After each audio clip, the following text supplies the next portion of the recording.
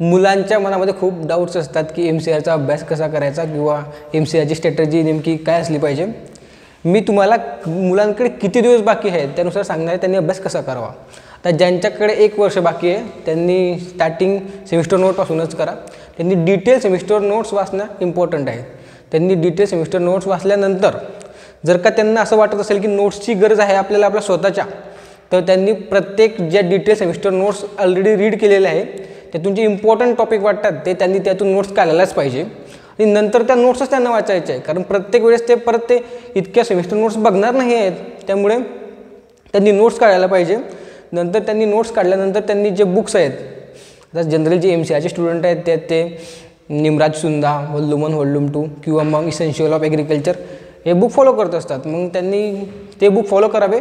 आणि जे पॉईंट्स इसेन्शियलमध्ये किंवा निमराज चुंदामध्ये नाही आहे किंवा ते बाकीचे अजून ते रेफरन्स बुक जे यूज करत असतील नोट्स त्यात नाही आहे त्यांनी ते पॉईंट नोट्स आपल्या जे सेमिस्टर नोट्स आहेत त्याच्यातून पाहून आपले जे जे बुक ते रेफर करणार आहेत त्या बुकमध्ये लिहून घ्यायचे.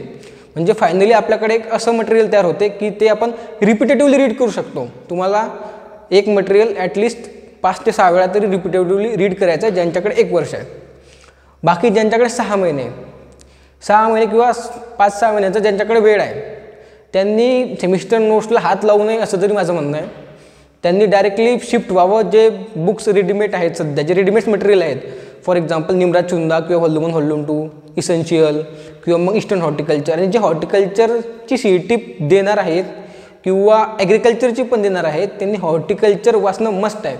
हॉर्टिकल्चरचे जे इनिशियल पेजेस आहे किंवा जे क्रॉप दिलेले आहे आपल्या हॉर्टिकल्चरच्या बुक्समध्ये फॉर एक्झाम्पल जे बघ त्यात लँडस्केपिंगचा जो पोर्शन आहे किंवा मेडिसिनल ॲरोमॅटिक प्लांट्सवाला जो पोर्शन आहे किंवा मग जो लास्टवाला त्यांनी जे टेबल्स फॉर्म दिलेले आहेत व्यवस्थित डिसीज वगैरे किंवा त्यांनी खूप चांगल्या प्रकारे जे मटेरियल आहे ते एक्स्ट्रॅक्ट करून दिलेलं आहे ते तुम्ही यूज करू शकतात. आणि ज्यांच्याकडे सहा महिने त्यांनी फक्त तेच मटेरियल वाचायचं पण रिपिटेटिव्हली वाचायचं.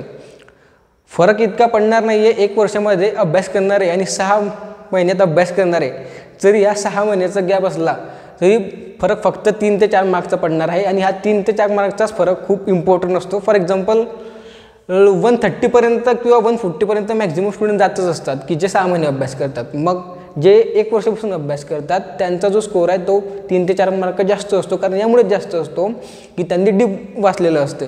वन थर्टीपर्यंत स्कोर येईल इतकं तर रेफरन्स बुकमध्ये दिलेलंच असते. जनरली की जे मुलं यूज करत असतात. बाकी एक्स्ट्राचं जे क्वेश्चन्स आहेत किंवा जे कन्सेप्च्युअल क्वेश्चन्स आहेत किंवा जे थोडे ट्वेंटी पर्सेंटचे सिलेबस ट्वेंटी पर्सेंट सिलेबसमध्ये तुम्हाला इलेवन ट्वेल्थचं इकॉनॉमिक्समधले काही थोडे पॉईंट्स तुम्ही बघू शकतात की जे इम्पॉर्टंट आहे.